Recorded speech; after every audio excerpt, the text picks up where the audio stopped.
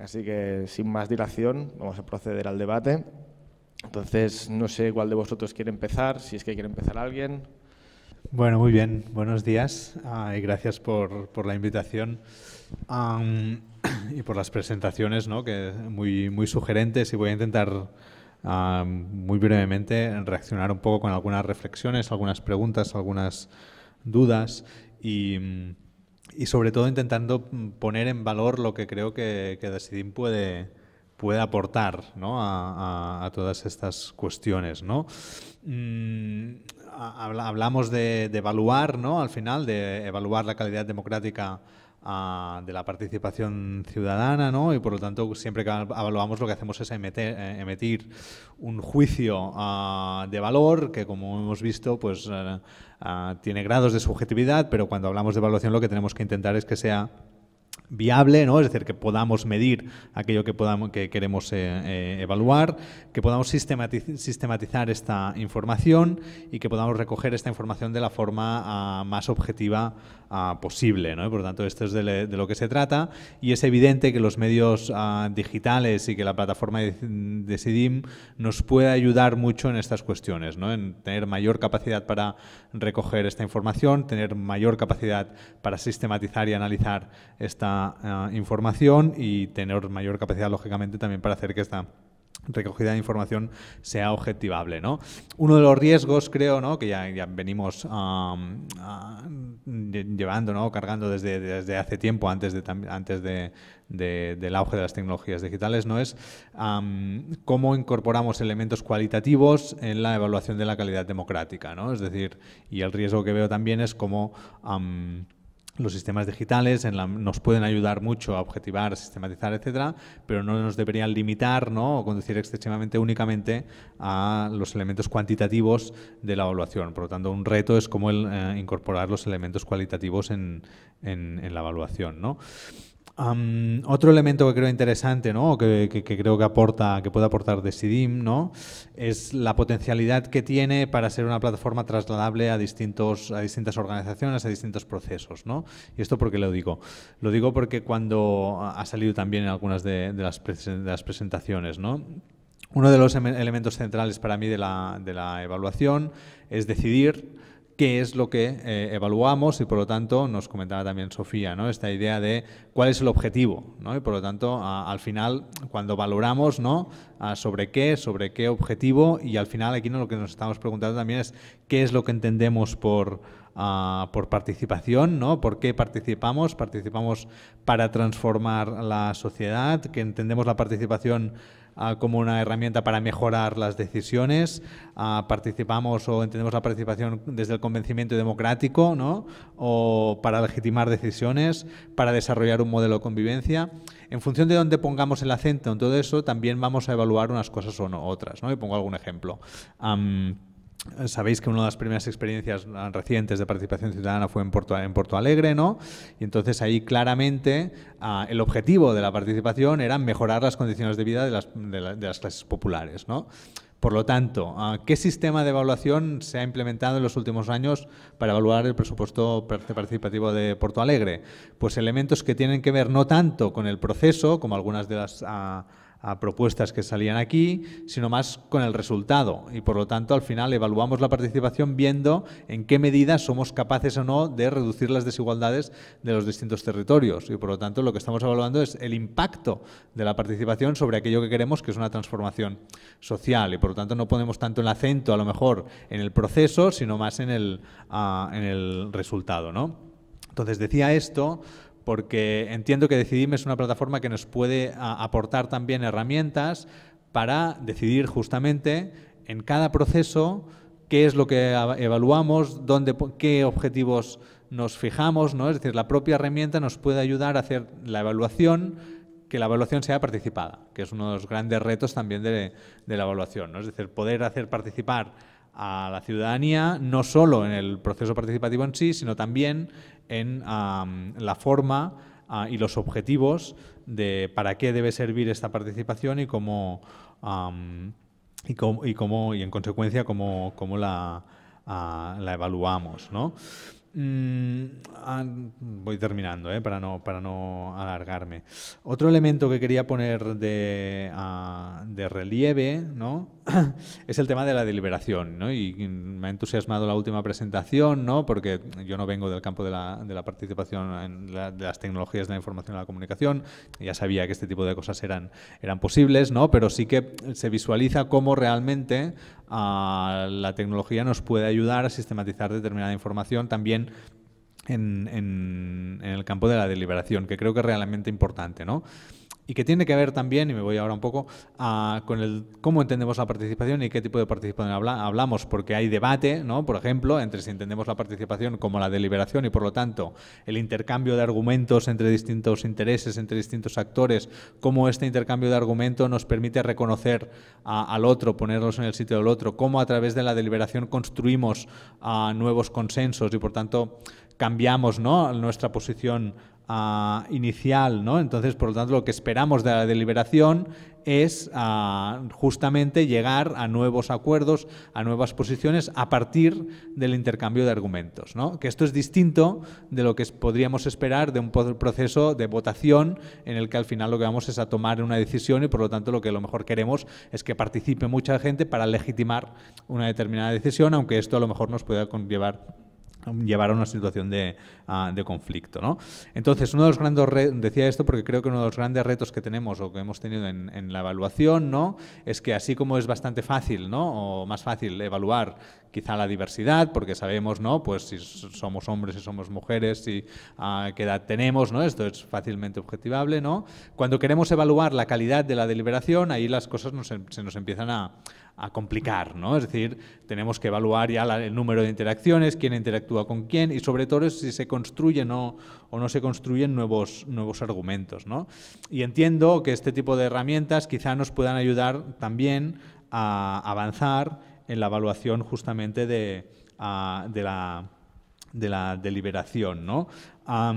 y aquí sugeriría también ¿no? de cómo podemos implicar a la ciudadanía y a los participantes en la propia autoevaluación de esta deliberación. ¿no? Es decir, han cambiado su posición, les podemos preguntar si o podemos ver si su posición inicial cambia o no cambia ¿no? desde el inicio con el, con el proceso de, de, deliberación. Podemos ver si, o preguntarles si aprenden o no aprenden, ¿no? que eso también cuando hablamos de los resultados de la participación no solo tienen que ver con lo sustantivo, con, ¿no? con, con, con, el contenido de la participación, sino también con el propio proceso y, por tanto, cómo ese proceso transforma a las personas que están participando, uh, cómo aprenden, ¿no? etcétera.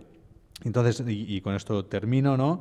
Um, la pregu una pregunta aquí también para, el, uh, para Juan ¿no? es, uh, y reflexión, ¿no? ¿en qué medida este tipo de tecnologías de análisis ¿no?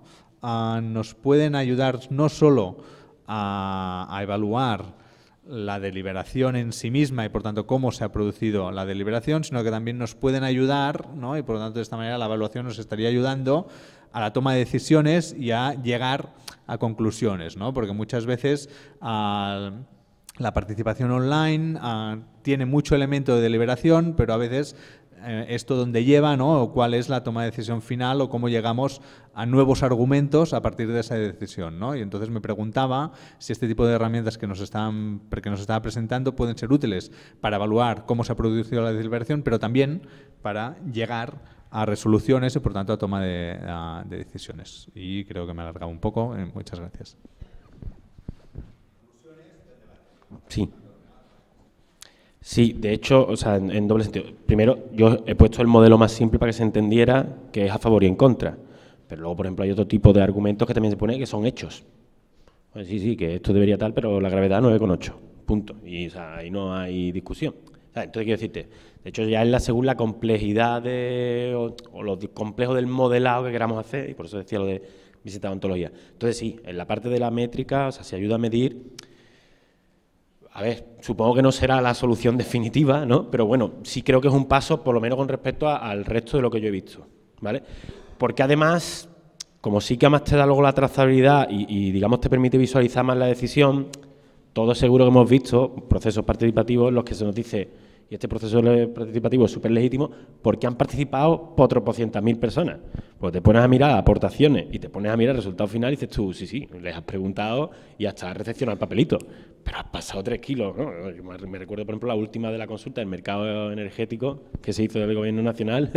tú miras lo que propuso la gente y fue un tiro. Entonces sí que te da esa parte de evaluación, dos sentidos, tanto lo que es el debate que ha habido, favor en contra, como si efectivamente tiene más o menos relación con, lo, que, con lo que obtenemos.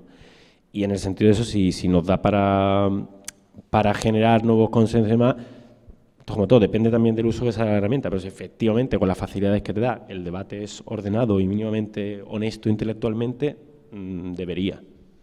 Mm, habrá que verlo. Uh, el atraco a mano armada que me han hecho aquí los compañeros de 20 sorpresa y, y luego da tu opinión, a mí me lleva a tres reflexiones. La primera es que, es una de las tensiones que se ha marcado, sobre todo en la segunda, en la segunda ponencia, pero eh, cómo hacemos esto útil, y la primera también, y que no sea una chapa, ¿no? Es decir, cómo eh, estas cuestiones de calidad que los que están detrás o estamos detrás de procesos participativos creemos que es muy interesante, sobre todo si hay una política detrás y habrá una posición que nos va a pedir explicaciones, cómo hacemos que esto sea no solamente que llegue a un resultado final, sino que el proceso sea, tenga esa calidad, tenga esos procesos estándares, esos ISOs, etcétera. Pero sobre todo cómo lo hacemos útil. Sabemos que los recursos son escasos, sabemos que la democracia es carísima, tanto la gestión del conflicto ex post como intentar llegar a consensos todavía más caro seguramente. Entonces, ¿cómo hacemos que eso tenga en el momento cero, por no llamarlo en el momento menos uno, ya una utilidad percibida y más o menos tangible? Ah, por ejemplo, cuando se hablaba de diversidad, me parece muy interesante que esos cuadros de indicadores no solamente sean al final, decir, pues, ostras, ha habido más inmigrantes que han participado o menos, sino en tiempo real.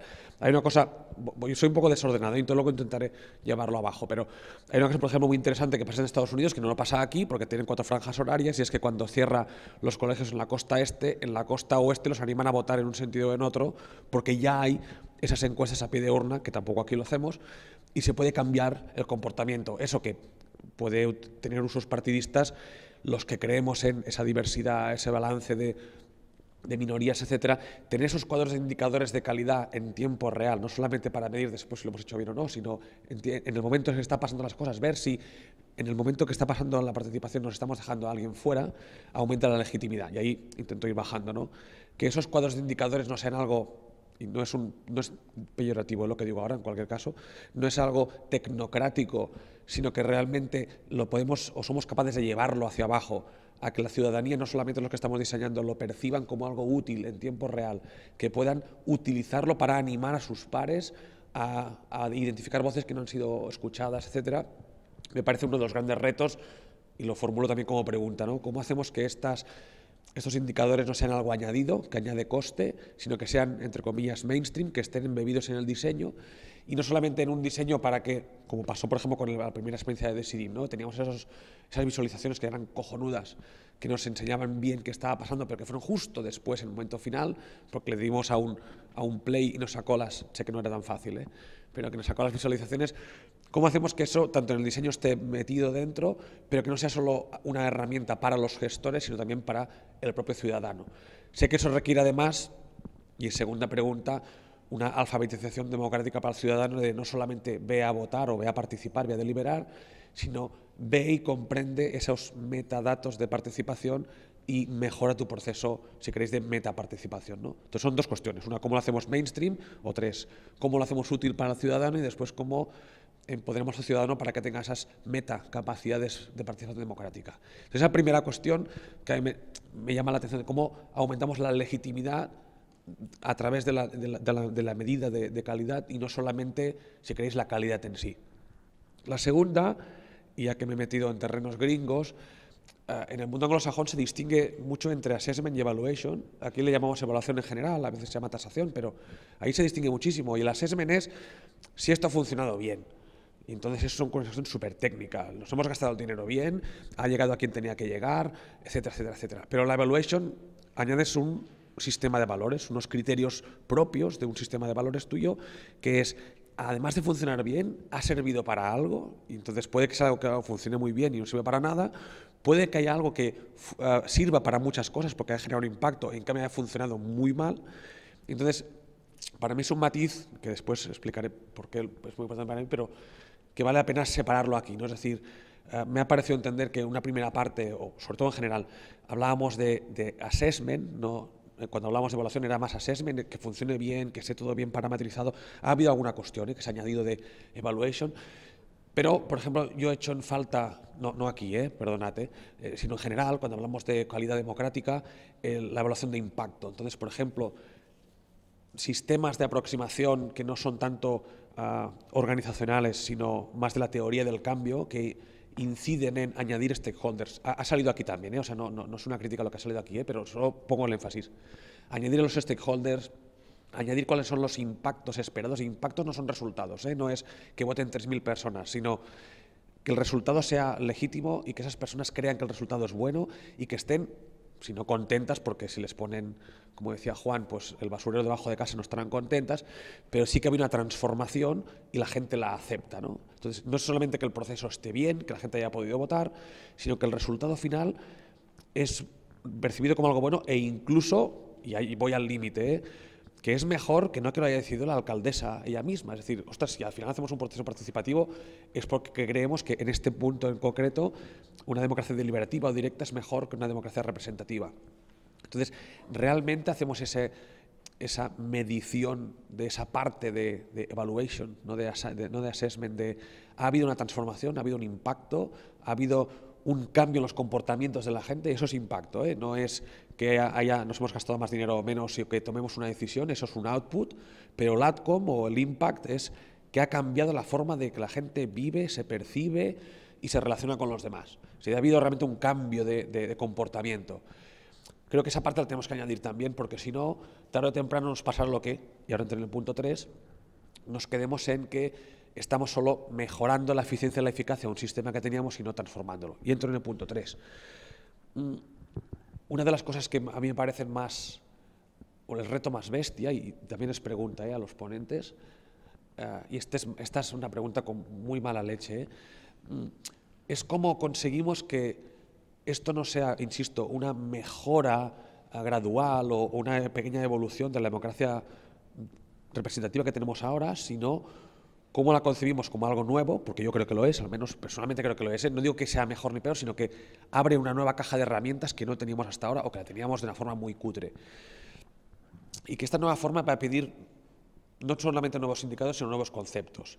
Uh, ha salido también ¿eh? en el debate, pero por ejemplo en Suiza saben que, que vote el 5% de la, de la, gente es genial. Si vota un 6% es cojonudo y si vota un 10% se preocupan porque significa que había un problema detrás. No es que esa decisión que hacen una vez al mes, una vez cada vez en cuando, ha tenido mucho éxito porque la gente ha participado mucho, sino piensan, ostras, que participe un 10% en este tema, es que igual el tema no es este, hay un problema subyacente, ¿no? En cambio aquí, si participa un 10%, la, la, la, oposición se va a tirar encima en este caso de la alcaldesa, pero da igual, ¿eh? en cualquier otro ámbito, se va a tirar encima de quien ha hecho esa iniciativa participativa porque un 10% en las últimas elecciones catalanas, incluso con porrazos hubo un 80% que votó, ¿no? De entre el 10 y el 80, vaya porquería habéis organizado y nos ha costado tantos millones. Entonces, para mí ese gran reto, y, lo hilo un poco con lo que decía antes, ¿eh? ir un poco más allá de, de lo que es eh, la medida, sino que es que sea una herramienta, que esa herramienta no solamente aporte legitimidad, sino que aporte un elemento de transformación, pero por último, que transforme, si queréis, la teoría o los modelos que tenemos hasta ahora de qué es democracia, ahí Juan también entraba, ¿no? ¿Qué es democracia? ¿Qué son procesos democráticos? ¿Cómo nos estamos midiendo? Vimos que había unos modelos que eran los griegos, luego otros modelos que son los de la época moderna, pues seguramente estamos haciendo unos nuevos modelos que necesitan nuevos hitos, nuevos umbrales, nuevas herramientas de medir, pero sobre todo nuevos, perdona que lo ponga así, ¿eh? pero nuevos modelos teóricos, ¿no? que ese 5% es bueno, o, o, a veces será bueno, a veces no lo será, o ese 10%, o esa diversidad, y cómo la medimos, y por qué es importante, por qué no lo es, y en qué ámbitos sí lo será, y en qué ámbitos no. Estos temas que a veces se debaten como cuestiones meramente cuantitativas, para mí creo que hay que aprovechar para lo que hemos visto, elevarlo e intentar teorizar. Sé que teorizar da mucha pereza y sobre todo el que está metido en la trinchera le suena como a ya viene este señor con sus onanismos, pero creo que es necesario porque si no se nos va a venir abajo todo el sistema. ¿no? Si estamos realmente transformando una parte de la toma de decisiones colectiva, si no tomamos un poco de distancia y vemos las diferencias con lo que teníamos hasta entonces, nos van a medir con, los, con las parabólicas que teníamos sintonizadas en una frecuencia que ya no es esa. Estamos emitiendo una nueva frecuencia y hay que, yo creo que resintonizar. Perdónate el desorden, estoy un poco espesito. De las presentaciones y bueno, haría, tengo muchas preguntas y, y dudas. Y, un poco veo que, hay este debate entre lo cuantitativo y lo cualitativo, ¿no? como que todos estos indicadores son muy cuantitativos y medir la deliberación o la participación de forma cualitativa parece ser difícil, pero yo creo que en el fondo también lo hacemos de manera cualitativa. ¿no? En, bastantes de estos indicadores, eh, yo creo que tú has hecho la pregunta, Marc, pero te la has respondido tú mismo, ¿no? porque has dicho, bueno, habrá que hacer igual encuestas de satisfacción, Habrá que ver si la gente cambia de opinión cuando delibera, cuando participa en los debates. Bueno, todo esto se mide de forma cualitativa, después podemos hacer índices cuantitativos, pero es un poco esta, esta mezcla de, técnicas, ¿no? Y, creo que hay que tenerlo muy, muy presente, ¿no? Eh, lo que ha comentado eh, Javier Romero del análisis del, contenido de los comentarios, de los posts o de las conversaciones, eh, aparte de ver la estructura, se puede analizar los comentarios el contenido del texto, ¿no? y esto se puede hacer de forma cualitativa también. No puedes tener un sistema de jueces en el que se determine qué tipo de comentario es, si es un comentario respetuoso, si es cívico, si es empático, si es sincero. Hay, maneras de hacerlo mezclando metodologías y, hay bastante experiencia en, este ámbito. Lo que pasa que es una experiencia multidisciplinar, ¿no? entonces pues algunos somos de la ciencia política, otros de sociología, otros de economía, otros de antropología o otros son pues, mm, eh, participantes que tienen mucha experiencia y que pueden saber mucho más que, las personas más, más, teóricas o académicas, ¿no? pero lo que tenemos que hacer es, juntarnos distintas disciplinas, eh, distintas experiencias prácticas o más teóricas y encontrar maneras de medir, ¿no? y, que tienen que ser, por supuesto, cualitativas muchas veces. ¿no?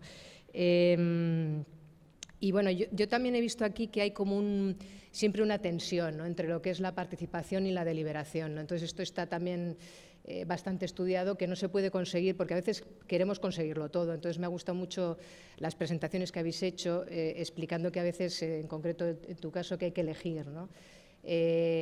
lo queremos todo, queremos llegar al 100% de la participación y 100% de la deliberación, pero bueno, hay, hay autores que, que, dicen que hay unos dilemas, incluso trilemas democráticos si no se puede conseguir al mismo tiempo la máxima participación y la máxima deliberación. Entonces, yo creo que es interesante tenerlo presente. Eh, claro, las críticas que se hacen a la participación, por ejemplo, en Decide Madrid, ¿no? lo que has comentado, Ismael, eh, pues que ha participado solo un 2% de la población, eh, pero luego ha habido debates muy intensos. Entonces, esto también es un valor, no solamente es la cantidad, eh, sino la calidad de, este debate. ¿no? Y, creo que tan positivo es una cosa como la otra. ¿no? Eh, y, bueno, hay, este trilema. ¿no? Si quieres poner más énfasis en, la inclusión de todos los sectores y la participación de todo el mundo, igual estás eh, restando calidad a la, deliberación porque necesitas más tiempo, igual grupos más reducidos, etc. ¿no? y después otro, otro tema que creo que es muy importante es que eh, aquí en Barcelona, mm, eh, la plataforma de SIDIM y todo este proceso creo que está teniendo mucho impulso, pero porque hay también grupos de personas voluntarias y personas que no pertenecen al ayuntamiento que están trabajando de forma desinteresada en que esto salga adelante. Y en cambio en otros ayuntamientos no veo tanto, eh, tanta fuerza. ¿no? Y creo que es, que es, importante que quede claro que tiene que haber un, colectivo, igual es la, la comunidad eh, Metadesidim, no sé, pero tiene que haber colectivos de personas que realmente se lo crean. ¿no? Y, en cambio en otros ayuntamientos veo que, este proceso, mm, bueno, eh, han visto que es una plataforma muy útil, eh, la están recogiendo de forma más bien técnica, la están implementando, pero de una forma muy top-down. ¿no? O sea, son los políticos, los técnicos quienes lo están haciendo y, en cambio, la sociedad civil, eh, los voluntarios, la ciudadanía no están tan convencidos de, las bondades de la plataforma y de, estos procesos. Entonces, bueno, eh, nosotros porque lo estamos investigando y vemos que, cuesta eh, que las asociaciones, las organizaciones de la propia ciudad, del propio municipio, eh, no lo ven, no es que no lo vean ni con malos ni con buenos ojos, es que no lo ven. Entonces, eh, en, Barcelona se ha producido, y creo que en Madrid también, hay otro tipo de, impulso que igual viene también pues, porque hay una ilusión por, pues, el cambio, ¿no? por, también una ilusión política. ¿no? Y, bueno, esto hay que tenerlo presente, ¿no? que eh, nosotros podemos crear una gran plataforma, un gran diseño y luego la gente puede ser que no venga. Y el problema no es igual del diseño institucional que es eh, maravilloso y es el mejor que puede haber, sino que no se ha estructurado socialmente, eh, no ha despertado interés en, la ciudadanía y eso también puede pasar. Entonces es un, es un reto a tener muy en consideración. ¿no? Y cuando abrimos canales de estos de deliberación y, de debate dentro de estas plataformas, eh, podemos tener unos instrumentos técnicos geniales, pero luego cuando analizas las actitudes deliberativas de, las personas que participan, a veces no son tan deliberativas. Y esto ha pasado también en Madrid, que se ha introducido, por ejemplo, el, foro coches y ha destrozado mucho de los debates. ¿no? Y, bueno, en Barcelona no ha pasado, no ha pasado es verdad que no, ha habido este tipo de incursiones, pero que hay esta dimensión también. No solamente es que nosotros diseñemos la maravilla, sino que eh, bueno, hay una serie de comportamientos cívicos, eh, de intercambio de opiniones, de reflexividad en los argumentos, que eso se puede medir, pero que a veces no se produce, pues porque simplemente pues, las interacciones entre las personas pues, son como son. ¿no? Y esto bueno, no, nos tiene que, desanimar, pero tenerlo presente que, pasa y que, y que, bueno, que también se puede medir eh, pero que hay una parte de este proceso que, depende de los ciudadanos, de sus intereses, del tiempo que tengan disponible, eh, de si los temas que, que, un poco quiere discutir el ayuntamiento son interesantes para ellos y puede ser que mm, tú abres los canales, pero ellos y ellas no vienen a los canales. Hacer unos eh, pequeños apuntes sobre, sobre todo también lo que ha dicho Ismael, que, mm, por ejemplo, has hablado de las normas ISO, y, creo que, esos indicadores tipo ISO o otros indicadores o otros estándares que vienen dados eh, de fuera eh, a veces eh, no, son quizás los más óptimos porque, no sé, yo he visto en laboratorios que el día que vienen a hacer el certificado ISO, el laboratorio está en perfectas condiciones y te dan el certificado, pero luego durante el resto del año, mmm, quién sabe si esa calidad se mantiene o luego solo vuelve a estar lista para... Entonces no, no sé si son, eh, son necesarios, pero no sé si son suficientes para mantener un proceso de mejora eh, continua en el tiempo. También has eh, mencionado, por ejemplo, que a lo mejor hay formas de establecer indicadores que te pueden ayudar a ser más eficaz, pero no a transformar. Y yo creo que no, estoy de acuerdo en eso, porque eh, bueno, estoy de acuerdo en que te hacen ser más eficaz, pero también te hacen eh, transformarte, porque lo que, lo, como, lo que te provoca no son resultados, sino son eh, procesos. Lo que se llevan las personas que forman parte de, ese proceso es una experiencia que efectivamente te, te, transforma y te transforma a ti junto con los demás y junto a tu entorno y creo que en ese sentido eh, se da un proceso de transformación cultural a todos los niveles que, va dirigido pues, en función a tus objetivos. Que si es de obtener más de democracia, pues seguro que, se ensanchan esos, esos valores. Em, luego también has, comentado el tema de la legitimidad, que creo que es muy importante, en cómo dar eh, legitimidad a, a esos procesos y yo creo que que sí que garantizan eh, la legitimidad porque la ciudadanía mm, se da cuenta mm, de que tú estás eh, demostrando que eres competente, que cada vez eres más competente, que estás alcanzando unos eh, grados de calidad que te has propuesto, que los vas mejorando, que los estás comunicando y que estás haciendo partícipe a la ciudadanía de esos procesos para que vea mm, cómo eres capaz de mejorar y cómo lo estás haciendo. Yo creo que que la gente eso lo valora, es decir, eh, más allá de la ideología. Mm, si tú, por mucho eh, discurso que tengas eh, o ideología, etcétera, pero luego no haces las cosas bien, eso se nota, por mucho que digamos que no, igual que la ideología que sea, pero si tú estás haciendo las cosas bien y lo estás comunicando, la gente, los ciudadanos lo van a ver y lo van a valorar y yo creo que poco a poco le va a ayudar a que se impliquen y aumentar la, confianza eh, y la credibilidad en este tipo de, proyectos. Y, bueno, quería hacer ese, esos dos apuntes. Sobre el tema de la transformación. No, no, yo no digo que no transformen, ¿eh? digo que, tenemos que medirlo, precisamente porque son transformadores tenemos que medirlo. Ah, no sé quién era que ponía el ejemplo de, lo que puede pasar en el Clot o en el Raval, o que tengamos ah, más mujeres o menos ah, votando. No solamente es que tengamos un indicador que diga, ostras, hemos conseguido una cierta paridad en mujeres o en inmigrantes a la hora de participar, sino eh, ha cambiado la política precisamente porque hemos conseguido esa paridad. Es una política distinta a la que hubiésemos conseguido si hubiese participado mucha gente, pero muchas menos mujeres, un 20% solo de mujeres respecto a 80% de hombres. Entonces, no, no, estoy de acuerdo contigo. Lo que decías es que, no, que no haya transformación, sino una vez ha habido esa transformación, cómo la medimos y cómo le damos valor social. Eh, el ejemplo de género creo que es, paradigmático. No se trata solamente de conseguir 50% o 40-60 si queréis en un sentido o en otro, sino, ostras, eh, era importante que participase la mujer, eh, la política que hemos conseguido es distinta, es distinta sí porque es inclusiva y ellas también lo han votado, ¿no? Pero es distinta a la que hubiesen conseguido solo un manel y que solo los hombres hubiesen participado. Yo creo que sí.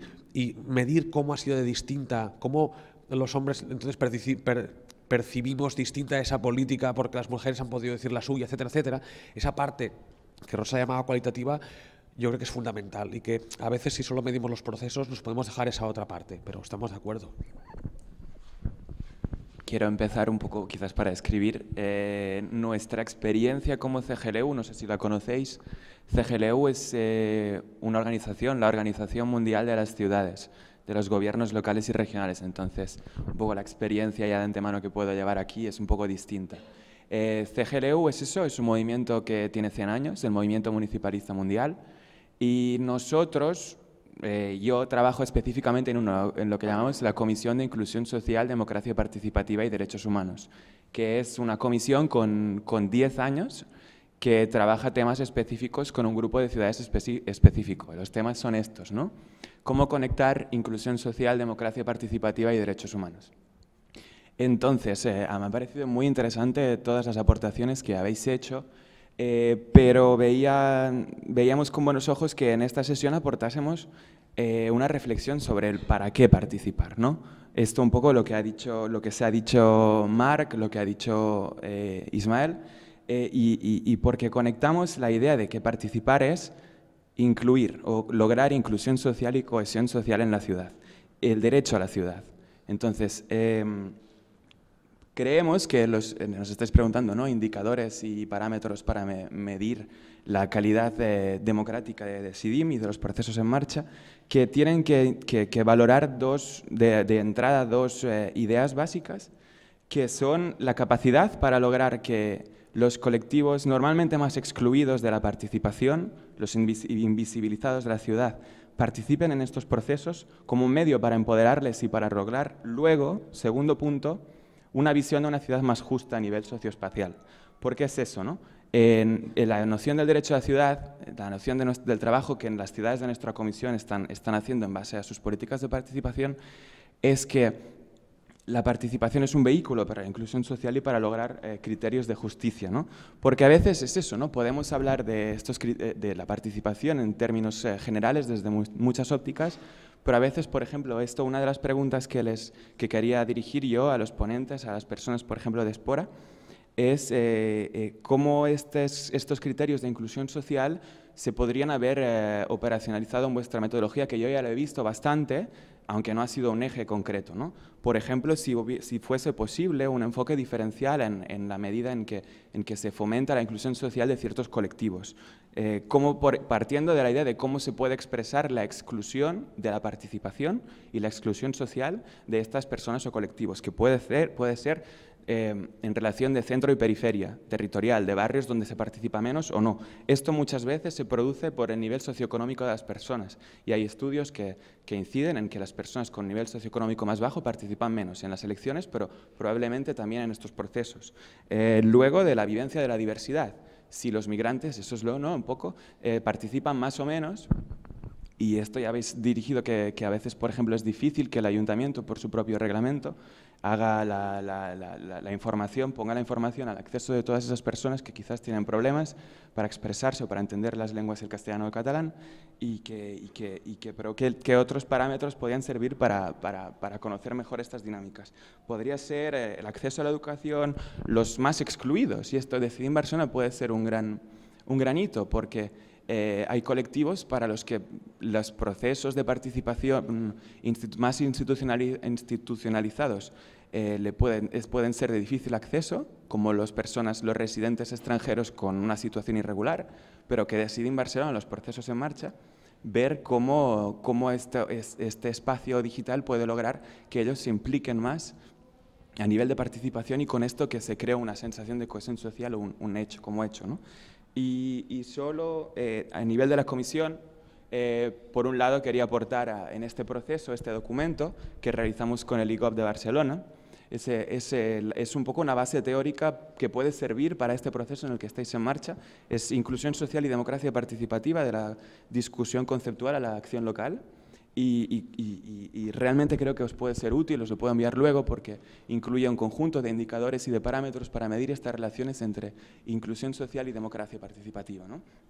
Y, a esto un poco puedo seguir luego con, con, la deliberación que vamos a tener, pero ya digo que en la comisión, como en Barcelona, hay muchas ciudades del mundo que están llevando a cabo procesos de este tipo, Vemos que en las ciudades como Barcelona o Madrid, eh, probablemente a raíz del movimiento municipalista, del 15M, está tomando mucha fuerza y es una referencia. Hemos estado en Madrid hace poco en Ciudades Democráticas, el lanzamiento de, la plataforma Consulcon, eh, más de 80 ciudades más o menos que están eh, trabajando en esta plataforma. En Francia eh, vemos ejemplos de, éxito que conjugan muy bien una cosa que también vemos necesaria, que es la hibridación entre lo digital y lo que ya existe, lo permanente, como en las periferias de París, populares, como Nanterre, donde hay una ágora, existía un proceso de deliberación y de participación y en marcha desde hacía más de 10 años y crearon una plataforma como Decidim con la filosofía de perenizar este, este espacio participativo que ya sucedía en la, a nivel físico. ¿no? Em, o incluso un poco más alejado, vemos en Corea del Sur, eh, hemos estado en este septiembre en el Foro de Ciudades por los Derechos Humanos y que este año ha sido relacionado a derechos humanos y participación concretamente, ¿no? Porque, bueno, solo un minuto para explicar esa historia. La ciudad de Gwangju es una ciudad de, de, Corea del Sur que fue famosa en los años 80 porque hubo un levantamiento contra la dictadura militar, ¿no? De este momento en Corea del Sur. Y el espíritu democrático, el espíritu de los derechos humanos, de la participación, siempre ha sido muy fuerte en esta ciudad. Entonces, es curioso porque esto evoluciona, ¿no? Y en el foro de este año eh, estuvo muy influenciado por el, movimiento de las velas de Corea del Sur, democratizador, que no sé si os acordáis, pero hace unos meses y, eh, tuvieron lugar unas manifestaciones muy, muy, muy festias en Corea del Sur porque había una presidenta, un caso de corrupción muy fuerte. Y lo que nos contaron nuestros compañeros eh, surcoreanos, y que por esto eh, Miguel Arana de Decide Madrid estuvo ahí, ¿no? para presentar la plataforma, es que ellos veían ahora la, democracia participativa a nivel digital como un modo más de empoderarles en el seguimiento de esta lucha que tienen para lograr, ya, quizás ya, y un poco relacionando con lo que le ha dicho Ismael, ¿no? esta aparición de incluso marcos nuevos, de una filosofía política nueva de, de, de lo que es la democracia ahora mismo, ¿no? De que ya hay algo de que les dice que ellos quieren ser protagonistas, ¿no? Y, que, ven eh, pues eso, ¿no? las plataformas como Decide en Barcelona, Decide Madrid, como otra herramienta para, llevar a cabo este proceso de, empoderamiento ciudadano para ellos. ¿no? Y eso es todo. Gracias, Jaume. Creo que Bueno, yo creo que nosotros lo que hemos hecho en ese sentido ha sido sobre todo... Em, en el proceso de, digamos, los procesos participativos pasan, como comentó Miriam, por un comité director eh, antes de llevarse a cabo en un principio.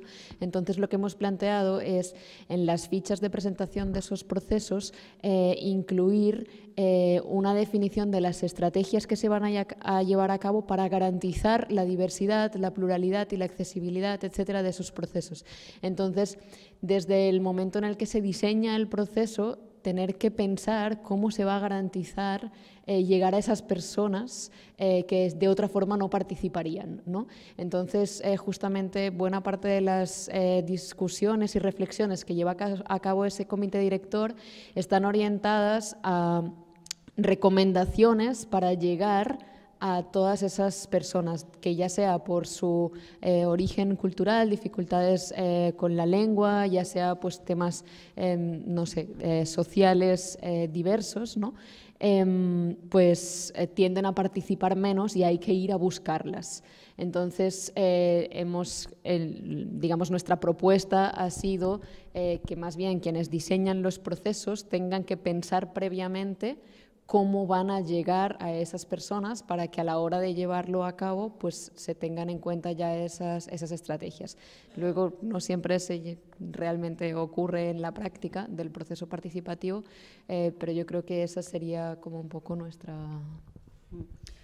No, yo, yo quería añadir también como un par de reflexiones. Una que tiene que ver, creo, con lo que comentábamos antes y lo que comentabas tú de, de qué factores sociales influyen ¿no? en facilitar o, excluir en la participación, pero que también tiene que ver con tener un conocimiento muy acurado y como muy detallado de la población con la que se trabaja, con la que se trabaja, con la que está como ah, presentándose el debate, ¿no? Y, y, ahí creo para mí que hay como también algunos retos en cuanto a la operativización de todo eso y también en lo que comentábamos en hablábamos más, más que de inclusión, de accesibilidad y de, y de garantizar la diversidad y la pluralidad de las personas que participan. Pero sí aquí, paralelamente pues al desarrollo de todo este programa de democracia activa, se están desarrollando también pues como un poco de eh, criterios para garantizar ah, una participación accesible, inclusiva, ta, ta, ta, desde distintos grupos. Cada grupo mira desde su ámbito de una forma bastante sectorializada también, lo cual tiene sus, sus problemas pero claro, apuntando a, mm, para tener una participación diversa culturalmente en, en términos de, de, personas migrantes con o sin eh, regularización administrativa, etcétera, como un poco las expectativas o lo, deseable en accesibilidad está tan alejado de la, de la, realidad en la que se está trabajando hoy en día que en qué, momento, o sea, en qué medida nos podemos plantear esto como nuestro Mm, escenario óptimo cuando, cuando para llegar aquí necesitamos como un cambio de las formas y de los procedimientos en los que se está trabajando en el ayuntamiento bastante importante, ¿no? Y ahí eso como también me, llevaba a otra reflexión con lo que apuntaba Ismael también en cuanto a lo, cómo medir la transformación, que aquí nosotras teníamos un debate previo a la presentación también porque bueno, porque presentábamos como este sistema de indicadores como indicadores de evaluación de un programa concreto y no indicadores de calidad democrática, que para nosotros implica una reflexión bastante más amplia.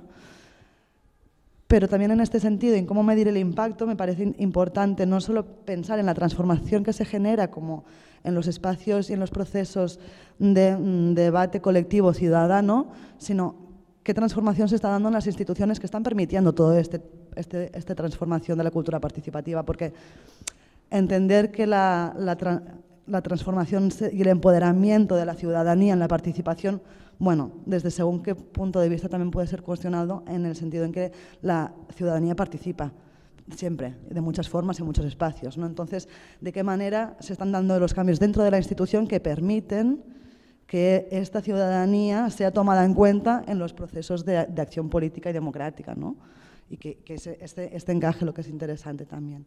A las ponentes y a la Filacero por participar en esta sesión, porque es una cuestión que ya tenemos, digamos, venimos arrastrando de ya mucho tiempo de, junto al Decidim, básicamente porque digamos, está muy bien tener un universo complejo de indicadores, pero si no tenemos si no los estandarizamos y no tenemos diferentes ah, casos de uso con que comparar, o sea, aplicar los indicadores, no sirven de nada. Es decir, ah, tenemos que hacer la tarea de estandarizar, bueno, definir, estandarizar y luego poder comparar. ¿no? Y precisamente para nosotros eso puede ser una arma muy potente dentro del DESIDIM, ¿no? porque de alguna manera el DESIDIM estandariza de alguna manera procesos de participación y creemos que en este proceso de estandarización, igual que pensamos cómo tienen que ser los procesos, pues también tenemos que pensar cómo tienen que ser los indicadores que miden lo que está pasando dentro del DESIDIM. ¿no? De hecho, nosotros lo veíamos desde el principio una arma en el sentido de que al final, a través de las APIs abiertas que tenemos, nos puede servir para, pues, establecer comparativas a tiempo real de la actividad que está pasando dentro del Decidim en, términos de, indicadores. ¿no? Y eso, pues eso es un reto complejo, pero a la vez pues, muy interesante y factible. ¿no? En la medida que Decidim se extiende a múltiples instancias, pues es factible pensar en, en esa capa. ¿no? Así que es verdad que es muy complejo. Es muy complejo porque, ah, pues no sé, pensando en la capa del Decidim, ¿no? Ah, hablamos de, diversidad y pluralidad como riquezas, pero ¿cómo medimos eso cuando ah, en la capa digital una prioridad para nosotros es el anonimato de los participantes? ¿no? Ah, se plantean dudas de este tipo que tenemos que pensar cómo, pues, cómo, cómo solucionar. ¿no? De hecho, nos preguntaban, es que queremos saber la paridad de género en un proceso de participación y decíamos, es que no podemos ofrecer estos datos. Entonces, bueno, se han hecho técnicas de intentar deducir el género a partir del nombre de usuario que la gente se pone en el DSIDIM, ¿no? Pero ¿cómo solucionamos esta tensión? ¿no? O sea, no es, una, no es una respuesta, digamos, obvia, pero sí que es un reto, digamos, ver, ver cómo, ah, cómo lo, lo, solucionamos, ¿no? Pero a la vez también sí que desde el equipo de Decidim pensamos que realmente el Decidim puede ayudar a, sistematizar mucho de estas prácticas. ¿no? A, gran, a muchos de los indicadores que habéis presentado en la presentación de Espora, no sé, se, me ocurre que de manera sencilla se podrían incorporar en los encuentros presenciales y que fuera parte de la información que tú tienes que proporcionar una vez ha pasado un encuentro. Y sería muy fácil sistematizar eso. ¿no? De hecho, esto es añadir unos campos a los formularios y ya está. ¿no? Incluso podríamos hacerlos customizables. Lo interesante es, sobre todo, pensar en términos de de extrapolación. ¿no? Pero sí que echaba de menos, y que luego también ha salido delante del debate, a pensar en estos indicadores específicos que también pueden salir de la propia experiencia del DESIDIM, que tienen que ver con la calidad de, la participación, de la deliberación y de la toma de decisiones. ¿no? Es decir,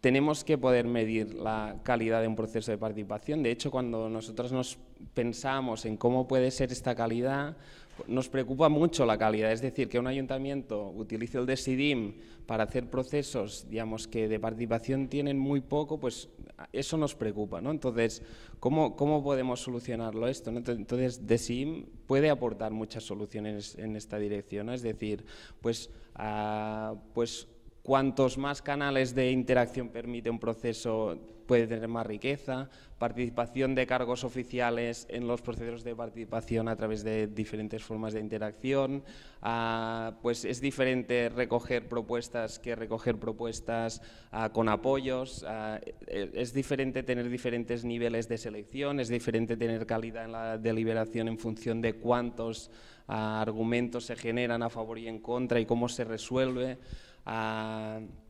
¿Cómo podemos pensar todo esto aplicado? ¿no? Y que también tiene que ver con, en parte, la sesión que tendremos de, trabajo después con, digamos, con las participantes.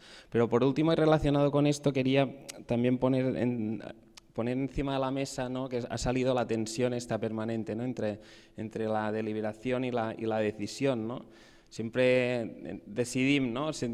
tendemos a pensar que al final dice, vale, pero al final, ¿cuándo se vota? ¿no? ¿Cuándo está el momento del sí o el no? ¿no? Y, precisamente lo que nos estamos dando cuenta en muchas de las experiencias que estamos teniendo en el Decidim es que la riqueza del proceso de decisión está precisamente en el proceso de construcción del resultado y no tanto en la decisión final de validación si eso es un sí o un no. ¿no? Y hay, existe un vicio muy fuerte de pensar que, digamos, que al final la democracia es solo el momento de votación y seguramente es uno de los daños que ha hecho a digamos, la democracia representativa. Pero, por ejemplo, en el mismo desarrollo del Decidim, cuando nos estamos planteando las cuestiones y cuestiones que son centrales a nivel tecnopolítico, en, en la medida de que tienen una serie de implicaciones políticas fundamentales, una, unos tipos de desarrollo otros, nos damos cuenta de que la decisión se construye. No, o sea, no hay un momento de decir, es que la decisión se toma, es así y punto. No, la decisión se va construyendo a medida que se va discutiendo pros y contras, donde entran factores políticos, factores técnicos, factores ah, pues de, comunidad, etc. ¿no? Entonces, yo creo que ahí hay mucho más campo de explorar, precisamente en cómo trasladar el peso de la decisión en el proceso de construcción y no en el proceso de validación y toma de decisión final. Bueno, dos cuestiones. Una primera es, uh, creo que Decidim está muy condicionado por dónde, del contexto en el que ha nacido, o sea, que se usa para, o sea, para los ayuntamientos, extrapolable a cualquier otra administración pública o, o sistema de, o sea, de democracia de ciudad o de comunidad o de Estado. Y creo que sería muy, será muy interesante si pasa a, usarse en organizaciones que ya tienen otra, otro tipo de cultura democrática. O sea, el hecho de que, este, que estos procesos se den con, un, con alguien que da el marco de participación, con técnicos que lo dirigen, con políticos que han sido elegidos a través de un sistema democrático distinto, con unas mm, organizaciones verticales como son las, administraciones públicas o los partidos políticos, etcétera, hace que estos indicadores siempre tengan estos elementos de quién ha dado el marco, etcétera. ¿no? Creo que, no sé si ahora Soma Energía va a empezar a usarlo, no sé si me equivoco, pero en todo caso, cuando organizaciones que ya tienen una cultura democrática asamblearia y que tienen ese tipo de objetivos los empiecen a usar, creo que, que va a ser un, un, campo de experiencia muy interesante y creo que este debate igual se tiene que volver a hacer uh, en ese marco, ¿no? en el marco de, de ese tipo de organizaciones. Esto es una cosa. La otra, uh, en cierta forma relacionada, pero y que yo creo que está en varias de vuestras intervenciones, es el, el decidir los criterios de evaluación bajo la autosospecha de que estamos creando un sistema para maquillar o para obtener paz social, ¿no? para no alterar el poder y dar una canalización de, de la necesidad de democracia y solucionarlo mm, generando, usando mecanismos para simular la participación. ¿no? O sea, yo creo que esta sospecha tendríamos que tenerla sobre lo que estamos construyendo para, porque no podemos hacer algo que cambie la forma, que esté muy costoso, etcétera, etcétera, y que no altere las, la, forma en que ha, ha, venido funcionando el poder y, la forma de, funcionar la sociedad. ¿no? Por lo tanto, esta cuestión de elaboración tiene que tener, yo creo que siempre es, puede ser sano que, que tomemos la perspectiva de la sospecha de que no estamos haciendo una simulación. Pues bueno, en principio daríamos por finalizado el, este lab. Muchísimas gracias a todos y especialmente a las personas ponentes que han podido venir. Y nada, esperamos veros en, en el siguiente y muchísimas gracias a todos.